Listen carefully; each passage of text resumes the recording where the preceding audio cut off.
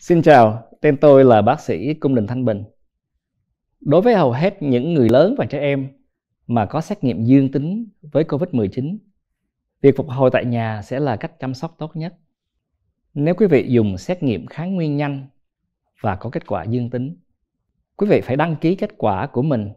qua ứng dụng của Service New South Wales hoặc qua trang mạng hoặc bằng cách gọi số 137788. Service New South Wales sẽ gửi đến quý vị một bản câu hỏi nhằm để giúp cho Bộ Y tế New South Wales biết được mức độ hỗ trợ mà quý vị sẽ cần đến. Điều quan trọng là quý vị cần trả lời các câu hỏi này nhằm để những người cao niên, những người lớn và trẻ em mà có những bệnh phức tạp mãn tính và các thai phụ được kết nối với một cơ sở chăm sóc. Các triệu chứng thông thường nhất của bệnh COVID-19 gồm có sốt, sổ mũi hoặc nghẹt mũi, thay đổi vị giác hoặc khứu giác, đau cổ họng, ho, hụt hơi thở, nôn mửa và tiêu chảy. Các triệu chứng này thường sẽ kéo dài vài ngày và thường có thể giảm bớt bằng cách nghỉ ngơi, dùng thuốc paracetamol hoặc ibuprofen đều đặn để giảm đau và sốt, ngậm kẹo ho để bớt đau cổ họng và giữ cho cơ thể đầy đủ nước bằng cách dùng thức uống đều đặn, kể cả uống nước.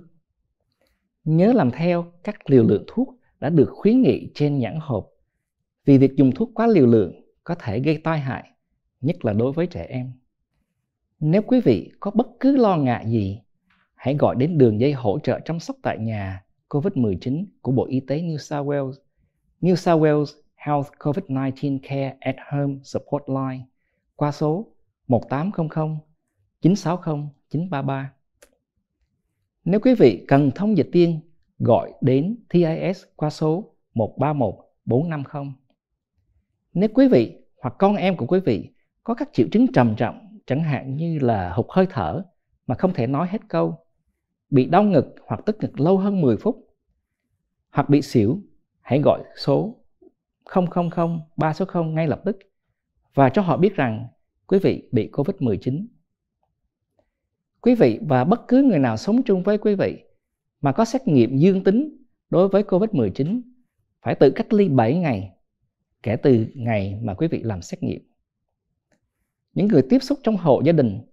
phải làm theo các hướng dẫn thêm dành cho người đã bị phơi nhiễm COVID-19. Quý vị cũng phải báo tin cho bất cứ người nào mà quý vị đã từng tiếp xúc trong 48 giờ trước đó rằng quý vị đã bị COVID-19 họ phải làm xét nghiệm kháng nguyên nhanh nếu họ khởi phát triệu chứng. Quý vị chỉ có thể chấm dứt tự cách ly sau 7 ngày nếu quý vị không còn bất cứ triệu chứng nào nữa. Nếu vẫn còn triệu chứng, quý vị phải tiếp tục tự cách ly cho đến thêm 24 giờ sau khi những triệu chứng này chấm dứt. Quý vị không cần phải xét nghiệm nhanh trước khi chấm dứt tự cách ly.